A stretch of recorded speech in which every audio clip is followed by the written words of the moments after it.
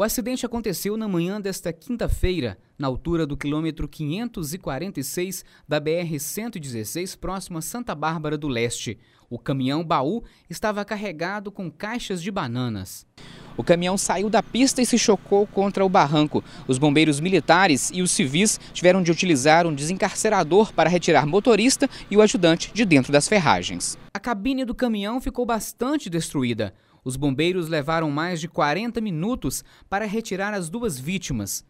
Populares ajudaram no socorro. O caminhão era conduzido por Jair Gomes Oliveira, de 47 anos. É, nossa equipe foi acionada por terceiros que nos relatou que havia acontecido um capotamento no KM 546,5 e ao deslocarmos para o local, chegamos e deparamos aí com um caminhão que seguia sentido a Quatagozes. O mesmo tinha no seu interior pai e filho, era conduzido pelo jovem Léo e com ele se encontrava o carona, seu pai Jair.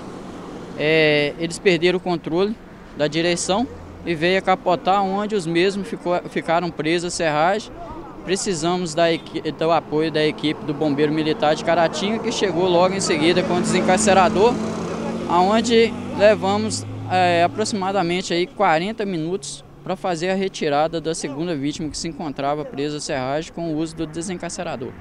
Em conversa com o condutor, o senhor Jair, ele afirmou que que ele rodou na pista, primeiramente, ele disse que rodou na pista, e segundo, ele, ele, ele não sabe confirmar exatamente como aconteceu. O que leva a crer que ele pode ter cochilado na direção ou vir com velocidade compatível, considerando que é uma curva, tangenciou, acabou saindo da pista e colidindo contra o barranco.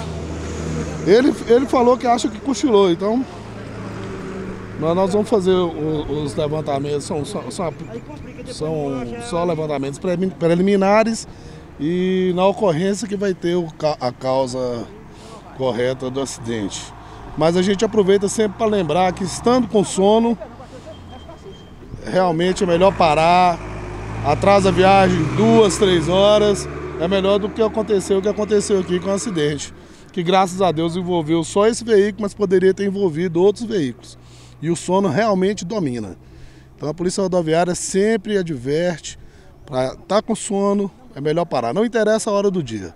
As vítimas foram encaminhadas para o pronto atendimento microrregional em Caratinga. As causas do acidente ainda estão sendo apuradas.